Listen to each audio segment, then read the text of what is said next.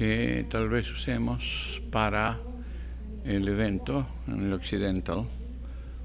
Esto es un teatro propiamente dicho, con todos sus equipos,